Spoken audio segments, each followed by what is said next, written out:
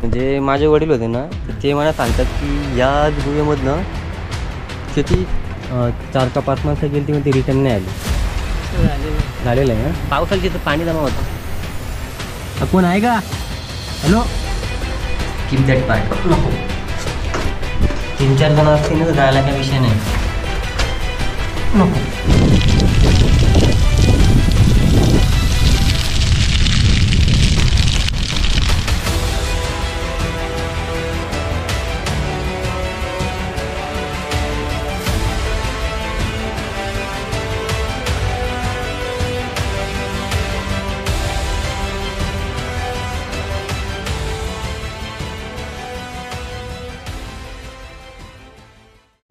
तर जय श्रीराम मित्रांनो कसे आहात? तुम्ही मजेत ना? स्वागत आहे पुन्हा एकदा आपल्या नवीन ब्लॉग व्हिडिओमध्ये मित्रांनो जस्ट आज पाहायला गेलं ना तर आता आपला खूप दिवसांनी एक ट्रेक होतोय.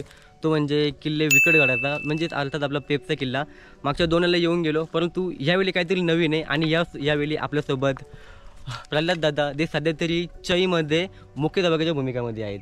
तर नमस्कार मित्रांनो. तर दादा कसं वाटतं याच्या ट्रेकमध्ये मित्रांनो हा ट्रेक मी आज आकाश बरोबर करतोय.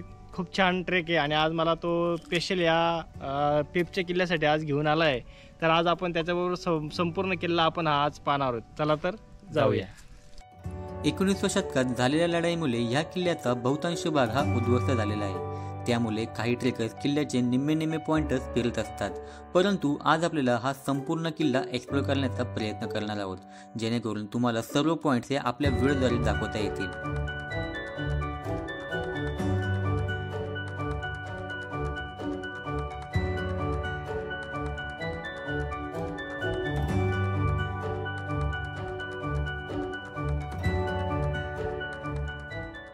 मित्रांनो जस्ट रेल्वे ट्रॅकने असं सरळ आल्यावरती आपल्याला हा इकडे बोर्ड पाहायला मिळतो आणि ह्या बोर्डवरती कड्यावरच्या गणपतीकडे आणि पेपच्या फोर्टकडे जाण्याचा हा रस्ता आहे. तो हा इकडून असा जातो. तर हे बघा आपल्याला हा क्लिअर इकडून जायचं असं. तर चला जाऊया आपण आता. रस्त्यातून पुढे गेल्यावर आपल्याला एक माकडदादा रेलिंगवर पाहायला मिळाला. त्या माकडदादाचा मी जेवढं जवळ जायचा प्रयत्न करत होतो तो तेवढाच माझ्यापासून लांब जायचा प्रयत्न करत होता. तो मला सांगत होता की भाई बघ तू आमच्या जातीतला नाही आहे. फुकट वाद होतील. हे जसं मी त्या दादाच्या तोंडातून ऐकलं ना मी तसंच आपल्या प्रवासाला पुन्हा सुरुवात केली. लागेल हे बघा. शांत बसलं विचारा दादांच्या हातामध्ये काठी होती. दादानं बोलून नका फुकट वाट लागेल. तर हे बघा निसर्ग राजा काड्यावरचा गणपती. या काड्यावरच्या गणपतीची निर्मिती राजाराम खडे यांनी केली होती. नेरलमधील स्थानिक असलेले राजाराम खडे एकोणीसशे अठ्ठ्याण्णवपासून माथारा मिनी ट्रेन चालत होते. मिनी ट्रेन चालवताना पेप किल्ल्याजवळ एक मोठा काळा त्यांच्या नजरेस यायचा. या काड्यास मिडाचा काडा असे नाव होते. या काड्याकडे पाहिल्यानंतर त्यांना त्यात गणपतीचा आकार असल्याचा भास व्हायचा. एकदा नेरलहून ट्रेन चालवताना राजाराम दादा चालवत असलेल्या इंजिनात एक उंदीर शिरला. ट्रेन मिडाच्या खाड्याच्या इथे आल्यावर तो उंदीर इंजिनमधून टणकन उडी मारून बाहेर पडला. राजाराम यांना दैवी संकेत वाटला. त्यांनी पुन्हा त्या कडेकडे बघितले. निरखून पाहिल्यावर त्यानं त्या खडकामध्ये त्यांना गणपतीचा आकार घेतला. राजाराम अस्वस्थ झाले बैचेन झाले. त्यांनी काहीतरी करावं अशी इच्छा झाली. राजाराम दादांनी नेरल माथाऱ्यांना राहणाऱ्या स्थानिक नागरिकांना घेऊन गणपती साकारायची कल्पना सांगितली. रेल्वेमध्ये काम करत असलेल्या सहकर्मचाऱ्यांना सुद्धा त्यांनी विश्वासात घेऊन सांगितले. सगळ्यांनी राजाराम दादांना साथ दिली आणि दोन हजार चारमध्ये राजाराम सर्वांनी कड्यावर गणपतीची निर्मिती करायची मोहीम हाती घेतली. सुरुवातीला लोखंडी पत्राच्या साह्याने कड्यावरील खडकांना गणपतीच्या तोंडाचा आकार देण्यात आला. नंतर गणपतीचे हात आणि हातामध्ये असणाऱ्या अयोध्य खडकांमध्ये निर्माण केली गेली. जवळपास चौदा वर्षानंतर दोन हजार अठरा साली बावन्न फूट उंच असलेल्या कड्यावरचा गणपती पूर्णत्वास आला. तर मित्रांनो पाहायला गेलं ना जस्ट आपण ना जो कड्यावरचा गणपतीचा पार्ट आहे ना तो स्किप केला बिकॉज कसं आहे की आपल्याला गडावरती जायला खूप टाईम होईल.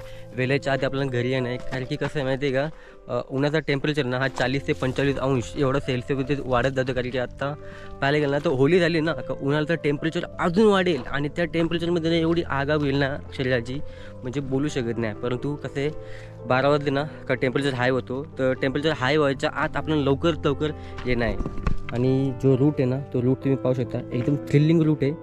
आणि समोर जो आपला पेप आपल्याला पाहायला मिळतोय. ह्या उन्हाळ्यामध्ये शरीराची आगाग करणारी गरमी होती. वातावरण आणि टेम्परेचर एवढं हाय होतं की त्यामध्ये दुपारी घराबाहेर पडणं हे अशक्य होतं. पंचेचाळीस अंश सेल्सिअस एवढे तापमान आणि त्यात पाण्याची थोडी जरी कमतरता भासली की चक्कर येणं हे साहजिकच आहे. त्यात आज शिवरात्री होती आणि विकटगाड्याकडे सर्व स्थानिक येथील असलेल्या महादेवाच्या मंदिरात दर्शन घ्यायला चालले होते. समोरच लागणारी सीडी उतरून आपण व्ही आकाराच्या दरीतून पुढे निघून गडाच्या दुसऱ्या सीडीकडे जाऊन पोहोचणार होतो. तर मित्रांनो आपण आता किल्ले पेपच्या खूप जवळ आहोत आणि इकडे हा इकडे पाहू शकता आपल्या सीडी चालू होतात. आणि ही एक बुरुज आहे नॉर्मली तटबंदीसारखा. आणि इकडे आपल्याला हा बोर्ड पाहायला मिळतोय. तर हा तुम्ही बोर्ड पाहू शकता. तर सध्या तरी तो सुद्धा खराब अवस्थेत आपल्याला पाहायला मिळतो आहे परंतु आता आपण ना जाऊया त्या शिड्या चढायला.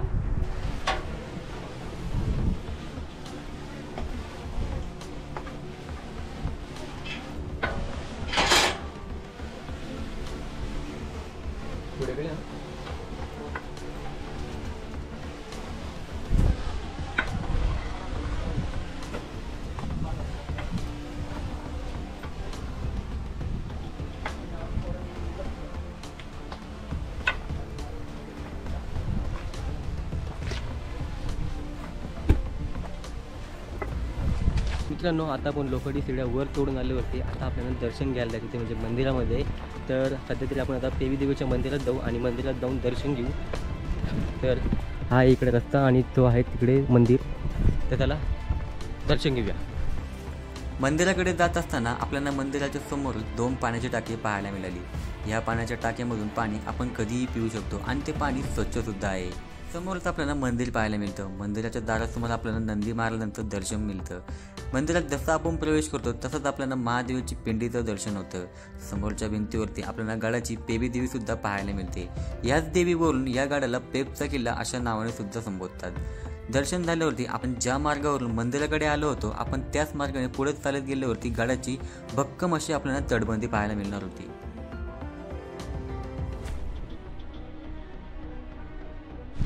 आता आपण जाऊन राहिलो किल्ल्याच्या तटबंदीकडे. आणि तटबंदी आपण आता पाहूया की तटबंदी कशी आहे. कारण की सध्या ती उद्ध्वस्त अवस्थेमध्ये आहे. मित्रांनो आपल्याला इकडे किल्ल्याची तटबंदी पाहायला मिळते पेप किल्ल्याची. तर या तुम्ही जर जवळ या. तुम्हाला काही गोष्टी दाखवतो. नॉर्मली आपण जेव्हा पण किल्ल्यावरती येतो ना तेव्हा आपल्याला जास्तीत जास्त लक्ष तटबंदीवर गेलं ना तर इथे जे भाग आहेत ना या भागांकडे लक्ष जात नाही. तर या भागांना मराठीमध्ये जंग्या असे म्हणतात. आता याचा उपयोग कसा होत जाते की यांचा उपयोग खास करून शत्रूवरती शत्रूच्या हालचाली नियंत्रण ठेवण्यासाठी कारण की इकडे पाहू शकतो जर इकडून इकडून शत्रू आला तर शत्रूवरती त्याच्यावरती आपल्याला मारा कसा करता येईल इथून तोफाचे गोले किंवा तेल बिल ओतून ओतणे असे प्रकार व्हायचे मित्रांनो त्या काळामध्ये आणि इकडे इकडे तुम्ही पाहायला पाहू शकता तर या आता आपण वरती गेलो ना तर वरच्या त्या स्पॉटला फांजे असे म्हणतात तर त्याला तुम्हाला दाखवतो.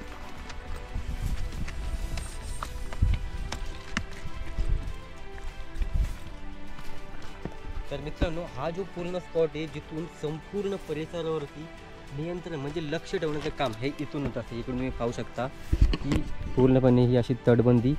तर पहिले जी ॲक्च्युअल जी तटबंदी आहे ना तुम्हाला शेवटपर्यंत टोक दिसतो ना तेवढ्या लांबपर्यंत तटबंदी होती. का गडाची भग्न अवस्थेत असलेली तटबंदी पाहिल्यावरती आपण किल्ल्याच्या बालेकिल्ल्याकडे जाणार होतो.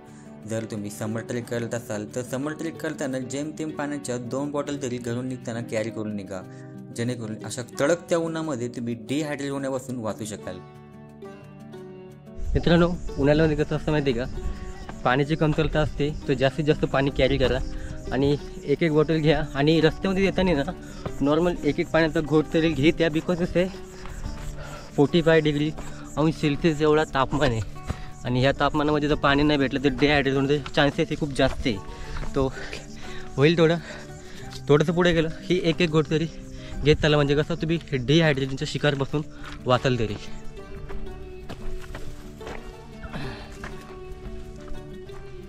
तर पाहू शकता. हा आहे बाले किल्ल्यावरती जायचा रस्ता. तर चला जाऊया. मित्रांनो बाले किल्ला म्हणजे मूळ अरबी शब्द आहे. बाल प्लस ई किल्ला म्हणजेच गडावरील सर्वात सुरक्षित जागा. किल्ला ज्या शिखरावर असेल त्या शिखराच्या सर्वात उंच जागी बाले किल्ला बांधला गेलेला असतो. गरज असेल तर बालेकिल्ला पाहायला गेला तर तटबंदीने अधिक मजबूत केला गेला असतो. क्वचितच एका गडावरती दोन बालेकिल्ले असतात. आता पाहायला गेलं तर बालेकिल्ल्यावरती राजमंदिर सुद्धा असतं बालेकिल्ल्यावरती इमारतीतले किल्लेदार किंवा हलदार सुद्धा राहत असतात. या किल्ल्याचा इतिहास पाहायला गेलं तर या किल्ल्याचा त्याला पेबी देवीवरून ह्या किल्ल्याला पेब नाव पडले.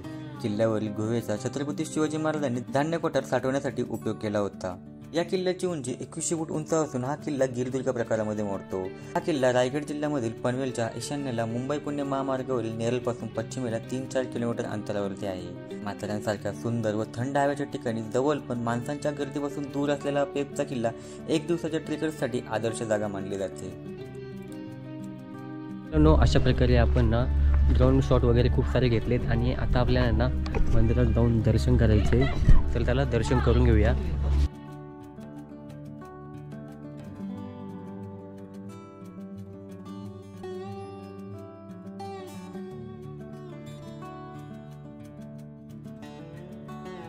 तर मित्रांनो मंदिरातून दर्शन घेतल्यावरती मंदिराच्या या बाजूनी म्हणजे अशा खालच्या बाजूने इकडे आपल्याला एक पाण्याचं टाकं पाहायला मिळतं. आता आपण मंदिरातून दर्शन घेतल्यावरती मंदिराच्या खाली जो आपल्याला पाण्याचा टाका पाहायला मिळतो त्याच्या खालूनच आपल्याला जाऊन रुळलेल्या वाटेवरून सरळ जात आपल्याला वाड्याचे अवशेष पाहायला मिळतील. तर मित्रांनो जस्ट इथे आपल्याला वाड्याचे अवशेष पाहायला मिळतात. हे बघा हा इथे एक बोर्डसुद्धा आहे आणि हा आहे पूर्णपणे वाडा. पाहू शकता? सध्या इथे जसे थोडे थोडेसे अवशेष बाकी आहेत हे बघा. मित्रांनो तुम्ही आता जस्ट म्हणजे वाड्याचा अवशेष पाहिला असेल आणि त्यामध्ये पाहायला गेलं ना तर पुन्हा एकदा आपल्याला हेच अवशेष इथे पाहायला मिळतात. ते इकडे हे बघा हे जोते पाहायला मिळतात आपल्याला जोतेचे अवशेष हे बघा. वाड्याचे अवशेष पाहिल्यानंतर आपल्याला सरळ समोर पुन्हा गेल्यावरती काही पायऱ्या पाहायला मिळतील. त्याही भग्न अवस्थेमध्ये. गडाच्या या पायऱ्या पार करून झाल्यावरती आपल्याला गडाचा जो पहिला दरवाजा आहे तो पाहायला मिळेल.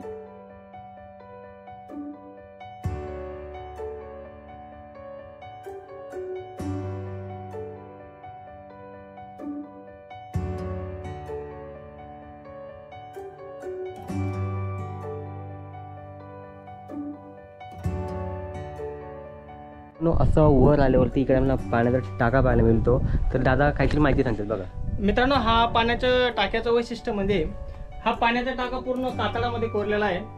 आणि हे जर पाणी आपण जर पिलो तर पाणी सध्या स्वच्छ आहे. पण हे पाणी इतकं थंड असतं कातळामधलं पाणी की एकदम थंड. म्हणजे आपल्याला फ्रीजला सुद्धा हा चॅलेंज देऊ शकतो. नो आपण ऑल टाइम जर पेप किलो येत असेल तर आपण माथेरानच्या हो- साईडवरून येत असो. पण कसं आहे मित्रांनो जी मेन जागा आहे ती ही इकडून असून इकडून येऊन आपण इकडे पाहू शकता किल्ले पेप प्रवेशद्वार. म्हणजे विकडगडचा हा प्रवेशद्वार आहे मित्रांनो पाहू शकतो तुम्ही. आणि या पायऱ्या. आणि इकडेच आपल्याला मारुतीरायची ही मूर्ती पाहायला मिळते. हे बघा इकडे. आता आपल्याला ते शिड्या लागतील. आणि या शिड्यावरून आपल्याला खाली जायचं आहे तर त्याला जाऊया.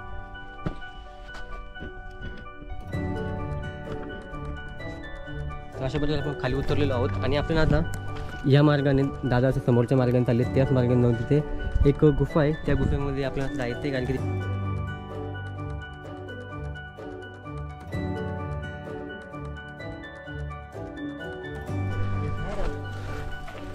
आणि इकडे समोर आलो आपण ही गुहा पाहायला मिळते. ही बघा.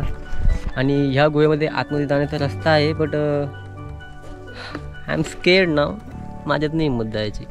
काम कालू की रात्रीचं खेळ चालू आहे इथं. नको. काय आतमध्ये?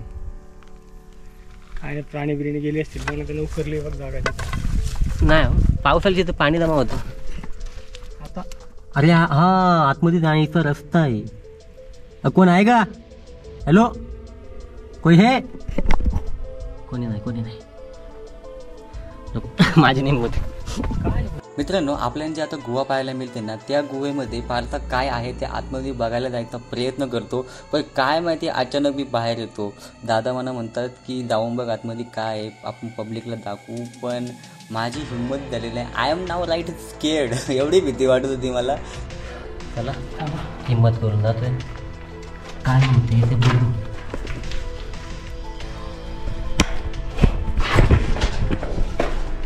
मध्ये जायचा प्रयत्न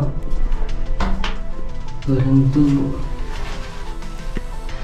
खूप खोली। हम्म. आतमध्ये एंड काय दिसत नाहीये स्किप दॅट पार्ट नको तीन चार जण असतील ना तर जायला काय विषय नाही? नको मित्रांनो तुम्हाला माहिती आहे का की याच टनलमधून काही लोक जे टनलच्या आतमधून गेले होते ते अजूनही काही कुणाला सापडले नाही आणि त्यांचा पत्ते अजून ठाव ठिकाणा सुद्धा नाही आहे आपल्याला समोर दोन दोन काका भेटतात ते दोन्ही काका आपल्याला सांगतात की त्यांनी ही गोष्ट ऐकलेली आहे. काय मामा कुठून आलात? नमस्कार दोघांनी दुधानीवरून? काय येते त्या दोन गुहा आहेत त्याच्याबद्दल काय सांगू शकता का? नाही तेवढे नाही. आयडिया नाही? आम्ही आम्ही आम्ही पण पहिल्यांदा कधीतरी येणार इथे. हा काय. आता आम्ही दहा का पंधरा वर्षात आले इथे. ते म्हणजे माझे वडील होते ना ते मला सांगतात की याच गुहेमधनं किती चार का पाच माणसं गेली ती ती रिटर्न नाही आली. असं झालेलं आहे. झालेलं आहे ना? आणि जो दोन हजारला महापूर झाला ना हा. ते वेगळे इथून खाली जी दरड कोसळली ना हा. त्याच्यामध्ये असली तोप पण गेल्या दोन खाली. दोन खाली गेल्या का? दोन खाली गेल्या. मग ते इथून जमा केलं तहसीलदारला पण. पनवेलला. म्हणजे माझी मी आतमध्ये नॉर्मली गेलतो पण जास्त चालू असल्यामुळे मग कॅन्सल अंधार केला. आहे आतमध्ये अंधार बाबा अंधार आहे. म्हणून कॅन्सल केला. काकांकडून सुंदर अशी माहिती घेतल्याबद्दल त्याच्यानंतर आपण इकडे पाहू शकता. हा पूर्णपणे एरिया आपल्याला पाहायला मिळतो. इकडे इकडे किल्ल्याचा आणि इकडे महाराजांची सुंदर अशी ही प्रतिमा तिकडे आपल्याला पाहायला मिळते. बघा.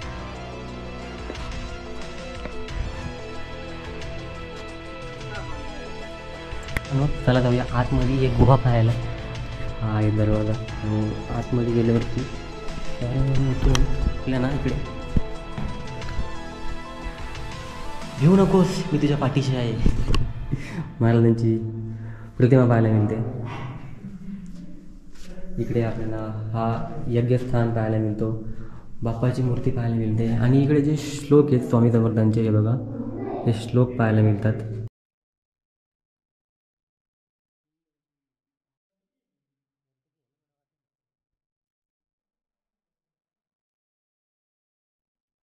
अशा प्रकारे आपण पूर्ण ही गुहा पाहिली.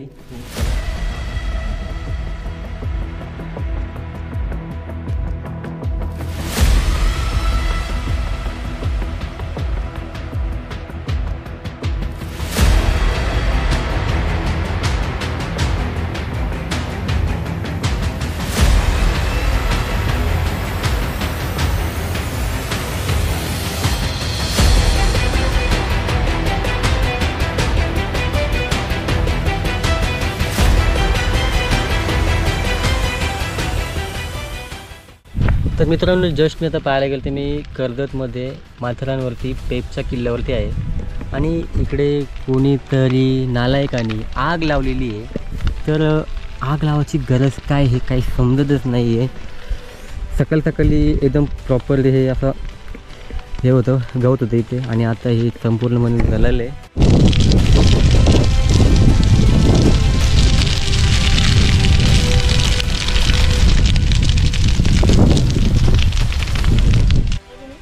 अशा प्रकारचा हा आपला प्रवास इथेच समाप्त होतो आहे आणि मित्रांनो बस आजच्यासाठी हा ब्लॉग आपला इथलेच इथेच एंड होतो आहे आणि भेटू तुम्हाला पुन्हा एकदा आपल्या अशाच नवीन ब्लॉग व्हिडिओमध्ये.